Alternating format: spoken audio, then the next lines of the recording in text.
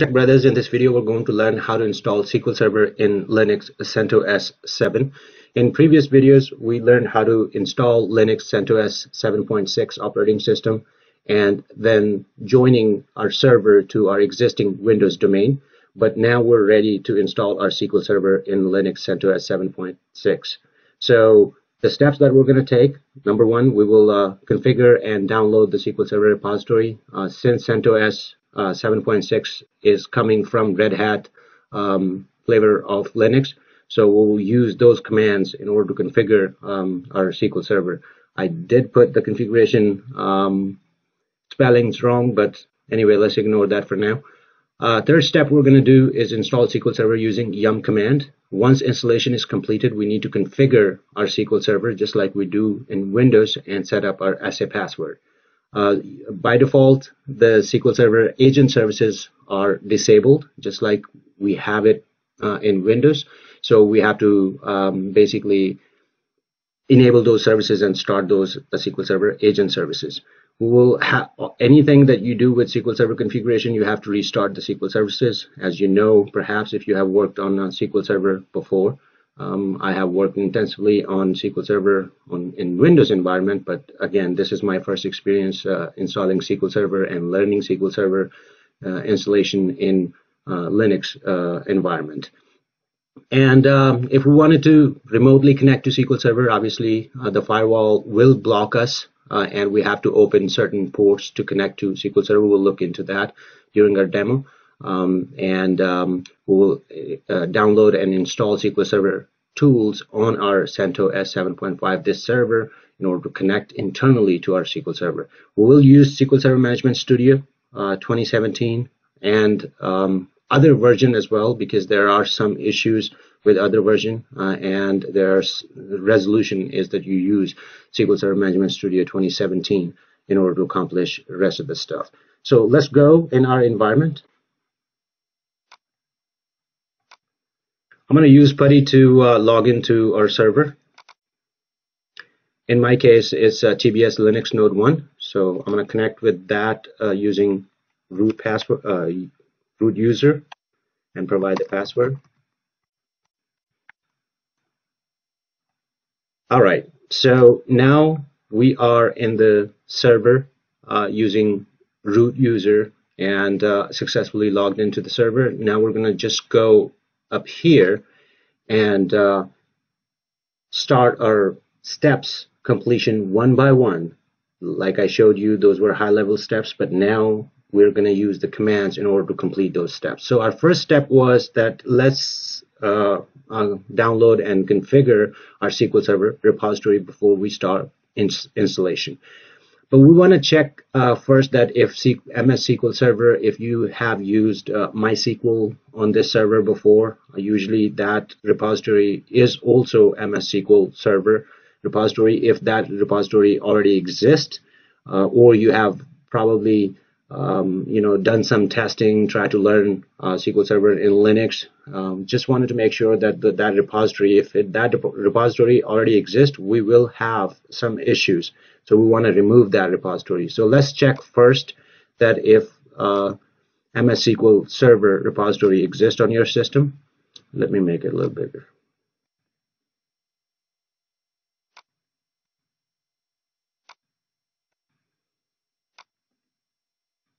All right, as you can see, no results. So we don't have MS SQL Server repository. In case you have that, you might want to check the contents of it. And to check the content, you might want to use this um, this command since we don't have MS SQL repository so nothing came back and if you wanted to remove if you find uh, MS SQL repository already and you wanted to remove that you will use this command now uh, our next step is configure and download SQL Server repository so this is this is the command I'm going to use. It's going to create um, MS SQL repository on our system and download the contents from Microsoft.com. Um,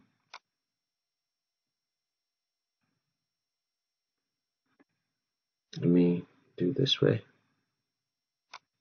Missed S. it'll go easy if I just um,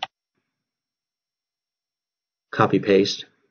All right, the repository is downloaded. Let's go ahead and check that if that repository is created. As you can see, the MS SQL Server .repo repo repository is there. So now we're ready to um, install SQL Server. We're going to use yum command to install SQL Server. And we will say dash y. So anything it'll ask that whether you wanted to download, is it okay? Uh, it'll just probably take the y yes and keep going for us.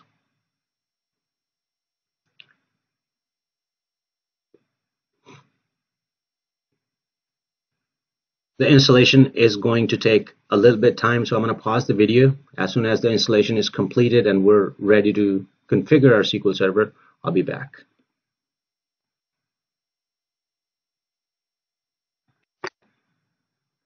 All right, the installation is completed. Now we're ready to configure our SQL Server and we'll use MS SQL config setup command.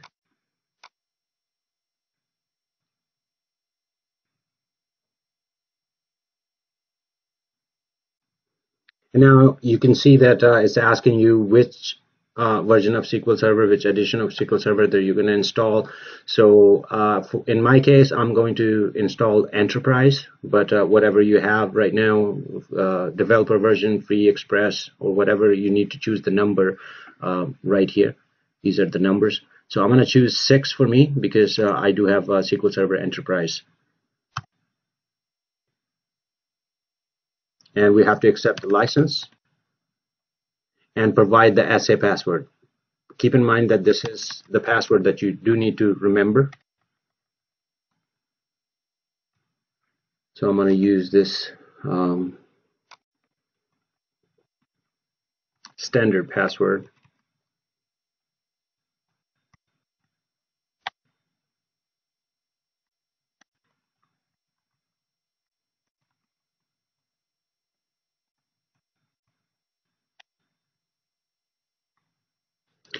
All right, now it's creating a home directory for SQL Server. And the setup should complete soon. All right, SQL Server setup is completed. Now let's go ahead and, and restart the SQL services so that everything will be okay. Systemctl start server. All right, so SQL Server installation is completed, configuration is completed. Now we will move uh, down to uh, internally connecting uh, with the SQL Server that we just installed. But before we do that, we need to install the tools, uh, SQL CMD. So I'm going to use this command to create the create and download the repository for the SQL Server tools.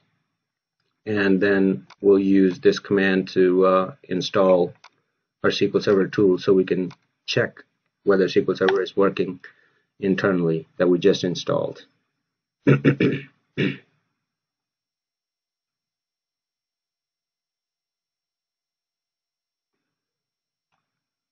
we need to accept the license for that as well.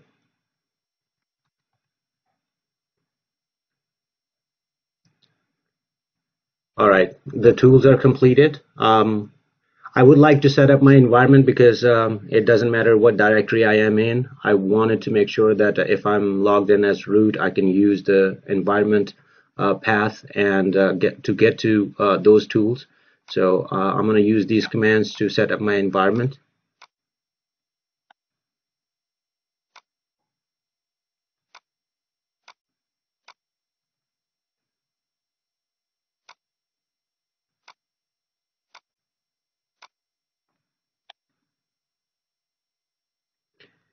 All right, now we're ready to um, connect with the SQL CMD.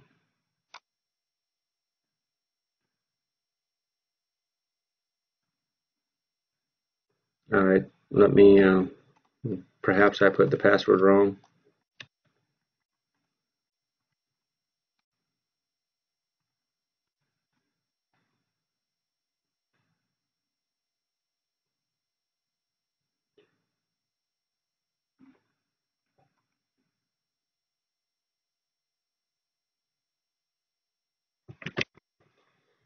All right, I basically uh, typed the password wrong, so um, it wasn't that password. I just set it up because uh, just for the demo purposes. So now we're connected with the SQL Server using uh, the SA password. Let's go ahead and select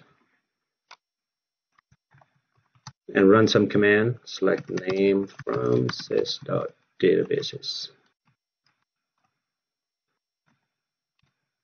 Go and there you go. So now we can internally connect with um, SQL Server. So let's go ahead and try with the Let's open SQL Server Management Studio and try to connect with our server. Maximize this. TBS Linux node 1.techbrothers.local and we're going to use uh, SQL Server authentication. Obviously, the Windows authentication is not enabled yet. So let's provide the password.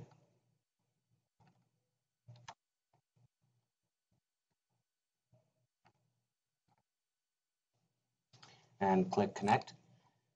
Currently, we don't have any firewall um, rule open or port open. Uh, in order for us to connect remotely to our SQL Server in Linux, we need to open either the port if testing purposes you wanted to uh, disable your firewall, that'll be fine too. But uh, I would like to open a port in order to connect remotely um, using SQL Server Management Studio. So let's see that uh, what kind of error we get. It's not going to let it connect just so that you know. But I wanted to show you that if you run into this issue, that means that our firewall is blocking us uh, and keeping us uh, uh from connecting to SQL Server on Linux. There you go. So let's go ahead and open the firewall. Right here, our step enable firewall port 1433. So we're going to run this command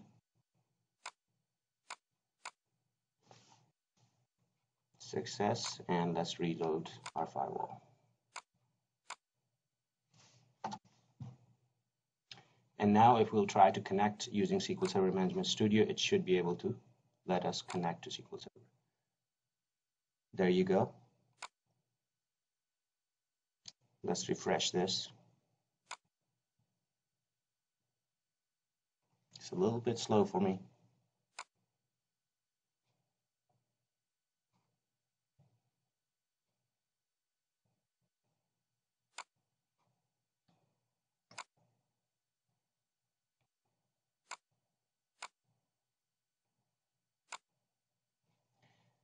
Well, I have started the SQL Server agent already. So, you know, the, let's go and look at the command that we use in order, if your SQL Server agent is disabled, you need to run this command. I'm a SQL set SQL agent dot enable true. Uh, if you set it false, then it's gonna turn it off. So if you find your SQL Server agent um, disabled, then go ahead and run this command and refresh your connection. It should you should be able to see that your SQL Server agent is running. So that's it for um, uh, connecting to SQL Server using SQL Server Management Studio and connecting remotely and how we open the firewall port uh, and was able to connect with our SQL Server installed on Linux. Um, our next video is going to be we're going to enable uh, Windows authentication just like we do. We would like to connect to SQL Server using our uh, Active Directory users. So for that, we need to enable, we need to run some commands in order to connect uh, to SQL Server using Active Directory users. So that is going to be next video. Stay tuned. Thanks for watching.